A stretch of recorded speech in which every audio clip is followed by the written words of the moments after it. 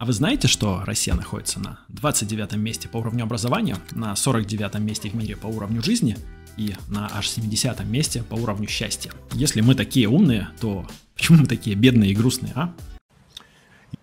Сегодня у меня для вас есть 8 тезисов из разряда база про деньги, и есть у меня ощущение, что если бы чему-то подобному учили в школе, то мы были бы с вами гораздо богаче и счастливее, а еще гораздо реже бы попадались на уловки всяких мошенников и аферистов. И здравствуйте, дамы, здравствуйте, господа. Вы в клубе «Денег достаточно», клуб любителей денег и свободы. Я Артем Галухин, и если вы хотите устроиться в этой жизни без сверхсамонасилия и вибраций со вселенной, то вы попали по адресу. А если вы настроены прям совсем решительно, то предлагаю еще и перейти по Boosty, по ссылке в описании, и подключиться к нашему клубу и смотреть еще больше контента.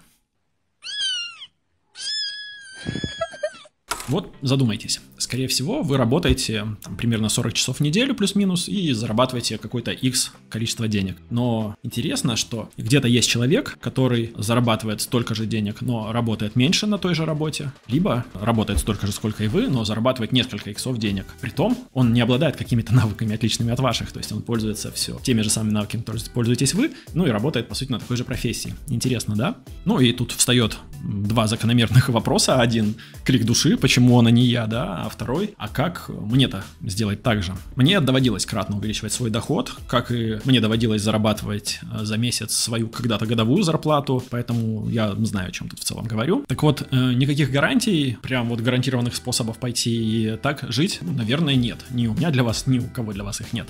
Но, тем не менее, есть некоторые вещи, которые способны приблизить вас к такому уровню жизни, то есть либо увеличить ваш доход на текущей работе, ну, либо на текущей профессии, либо перейти на другую работу, которая больше. Да иногда до этого достаточно знать какие-то просто вещи. И вот сегодня у меня для вас как раз есть 8 а, таких мыслей. Я их мог бы набрать больше, но видео тогда бы получилось слишком большим, но вот эти базовые 8, я думаю, для начала хорошо зайдут, чтобы вам было о чем в том числе поразмышлять. И если готовы, то давайте начинать.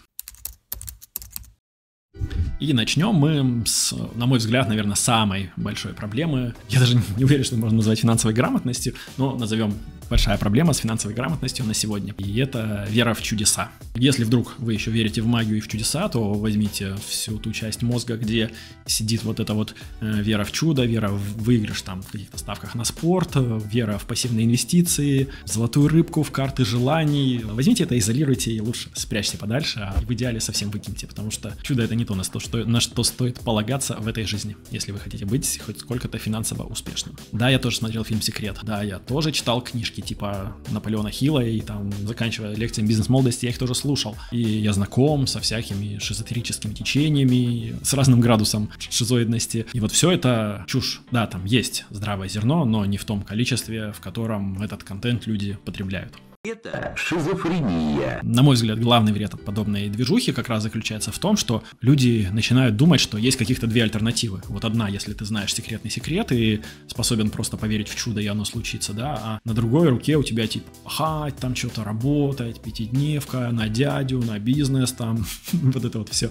Ну и, собственно, люди, вот, которые вам вот это вот предлагают, да, типа обманочку, они на этом и играют. Они рассказывают, что ты как лох работаешь там от зарплаты до обеда. Если не веришь в чудо, такую ловушку попасться гораздо сложнее. В общем, тут, думаю, все предельно понятно, да, выкидываем из головы все эти сказки и веру в чудеса, начинаем рационально анализировать все, что вокруг происходит, складывать собственное суждение, основываясь на какой-то информации, а не просто там на эмоциях, ну и жить уже станет проще.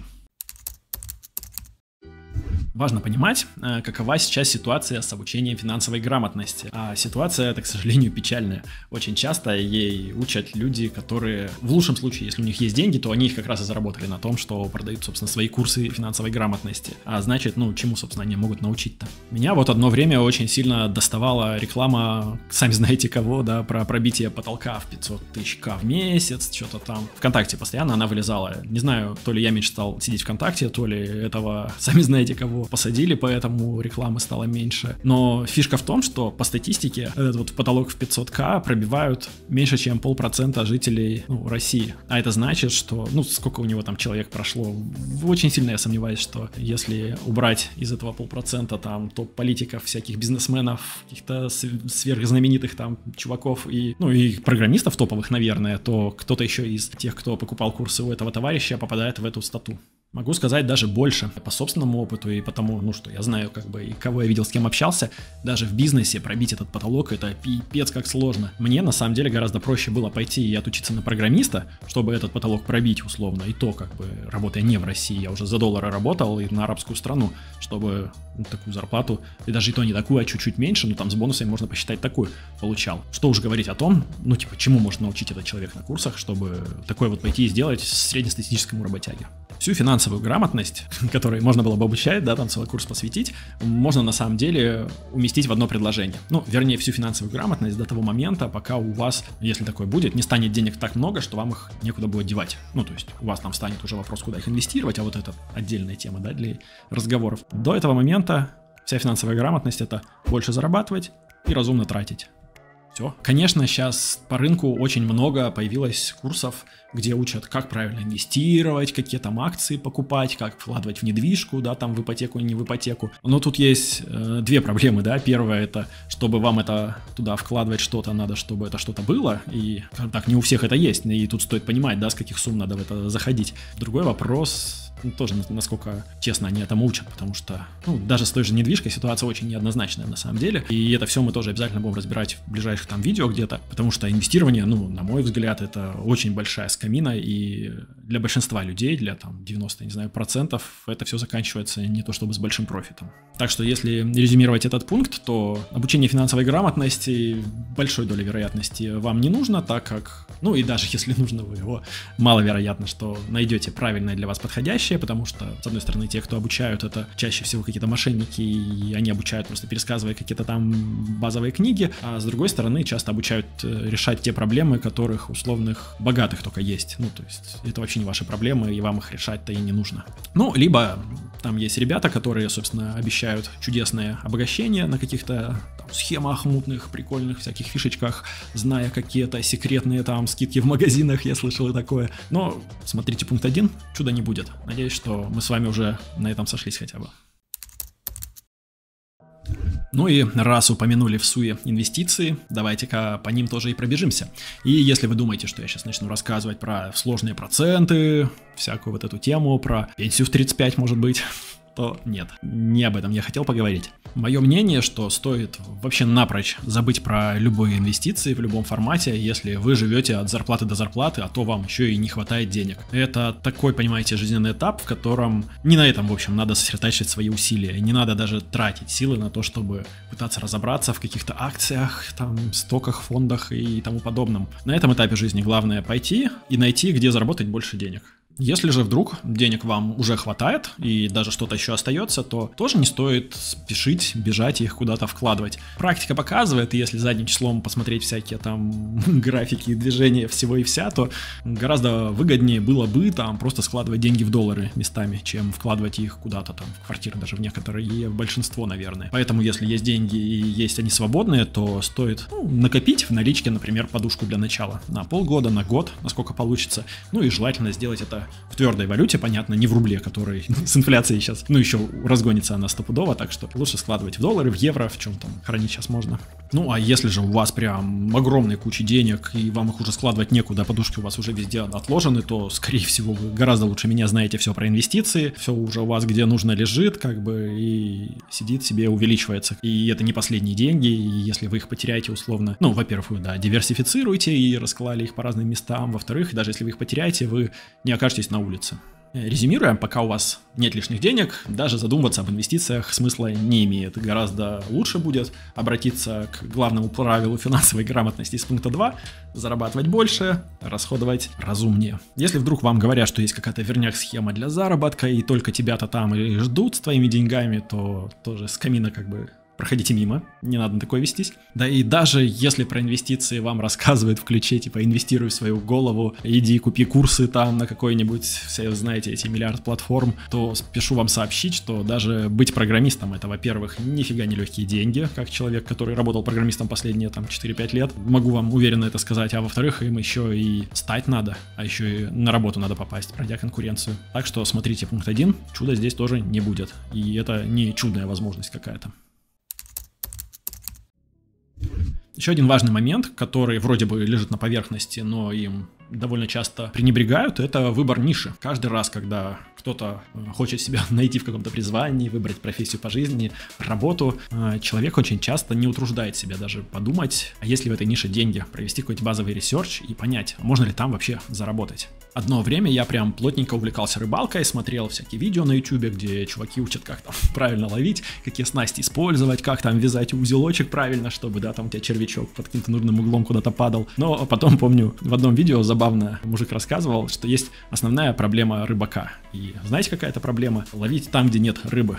Очень четко я на себе это прочувствовал, когда, ну, я сам жил под Питером и гонял там по всем озерам окружающим, пытаясь что-либо выловить. И когда я приехал на озеро, там где-то в Краснодарском крае, где реально была рыба, ее там ловить скучно. Ты закидываешь, достаешь, закидываешь, достаешь. И для этого не надо никаких сверх изысков каких-то приколов с рыбой. Также точно пытаться стать успешным, заработать много денег и жить припеваючи, работая в какой-то нише, где денег тупо нет, ну или на какой-то профессии, где там выше какого-то потолка довольно низкого ты не прыгнешь, ну это тоже довольно такое наивное занятие.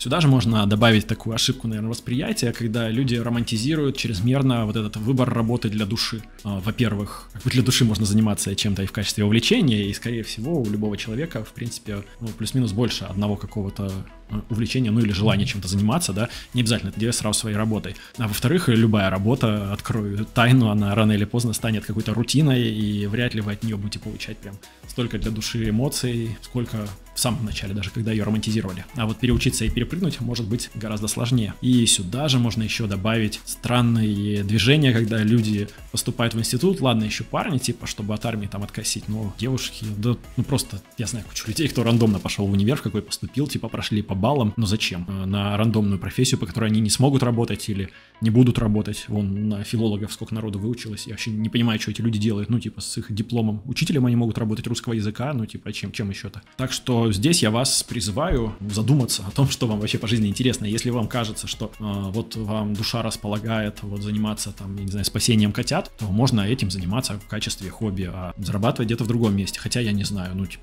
наверное, на помощи котятам можно нынче и заработать. Вот, вот.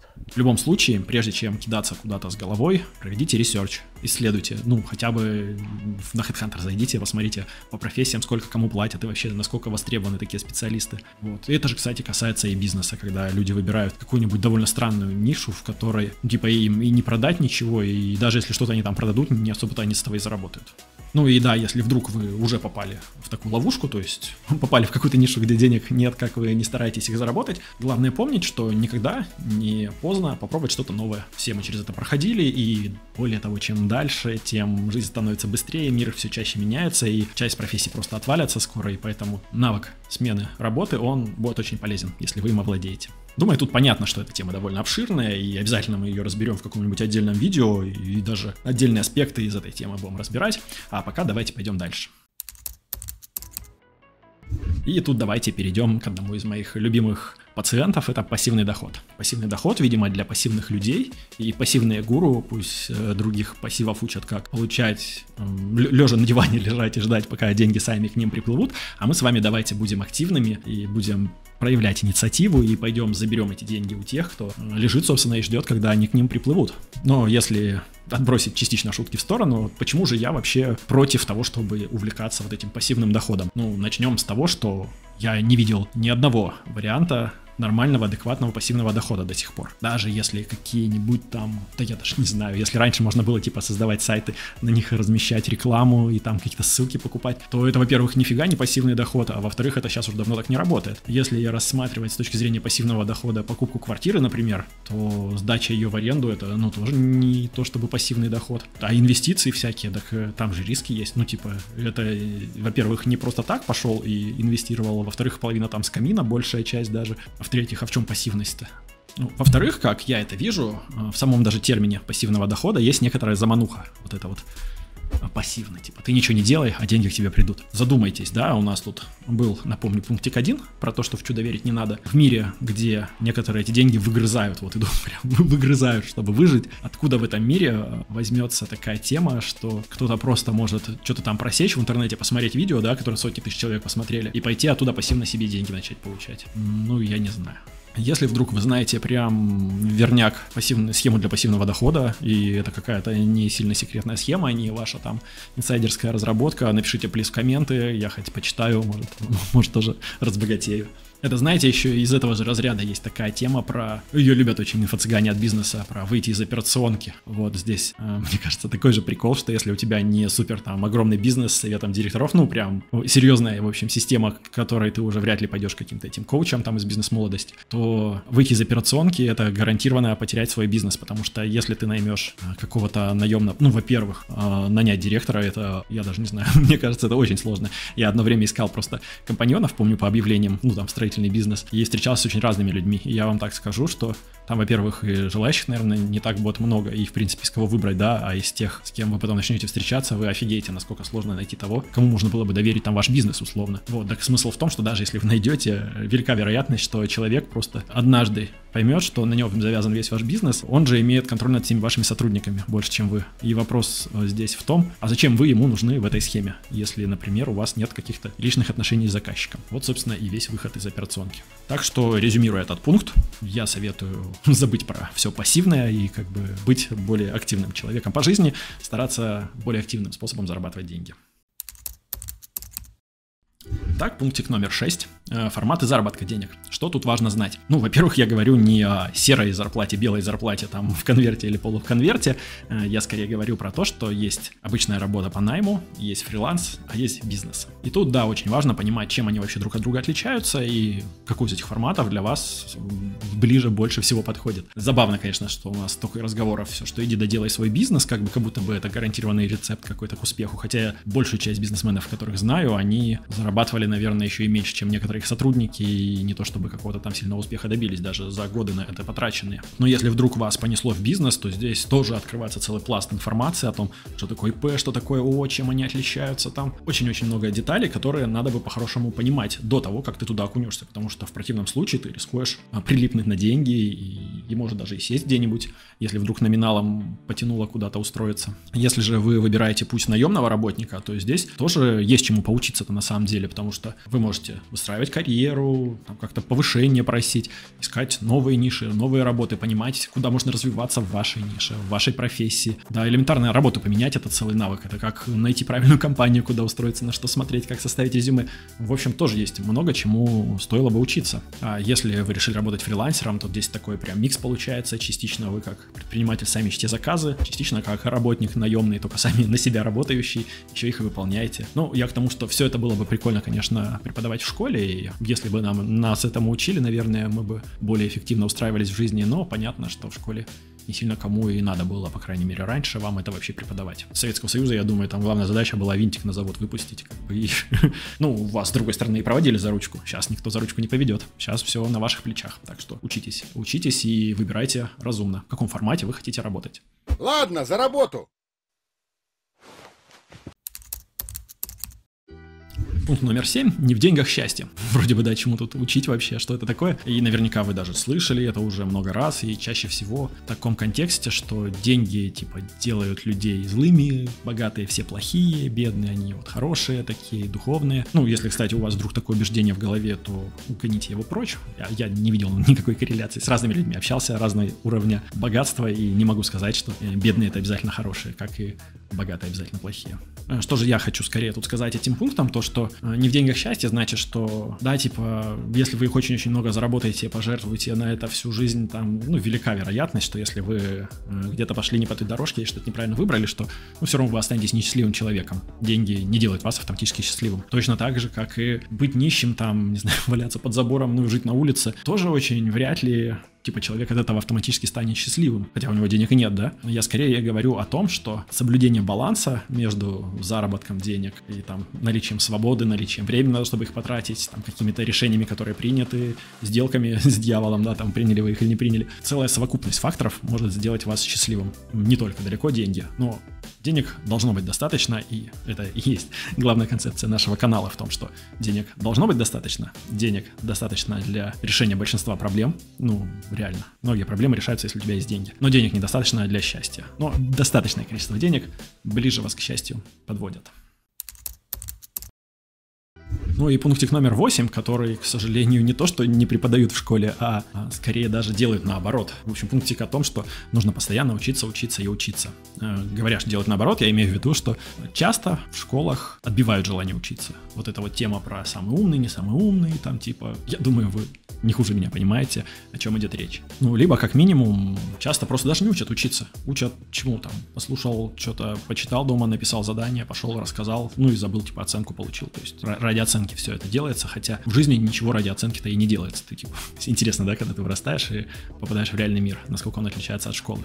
Прикол в том, что один такой навык обучаемости, на самом деле, он открывает огромное количество дорог по жизни. У меня, например, сколько раз было, я ввязывался в какие-то темы, в которых понятия не имел, что делать. Особенно еще, когда работал промышленным альпинистом, и мы там, типа, вписываемся какие-нибудь вешать эти воздуховоды, например, нам говорят, вы вешали воздуховод, знаете, что делать? Мы такие, ну, как бы, да, типа, у нас там есть у кого посоветоваться, и потом сидишь дома, просто читаешь ГОСТы какие-то, смотришь там видосы, изучаешь всю эту тему, чтобы прийти и как бы не упасть в грязь лицом и что-то сделать потом. Я уж молчу о том, что можно пойти и в любой момент сменить собственную профессию, если ты умеешь учиться. А еще круче навык, ну, такой следующий, наверное, по, по этапу над обучаемостью, это способность решать задачи. То есть, если ты умеешь не только обучаться, но еще и решать задачи, то вообще тогда цены тебе не будет. Просто стоит задуматься о том, что если ты где-то работаешь на кого-то, то э, все, за что тебе платят, обычно это решение задач бизнеса. Там сделать уборку, это может быть задачей бизнеса, да, и там настроить сервер, не знаю, развернуть какое-то приложение, это тоже может быть задачей бизнеса. И людям в бизнесе обычно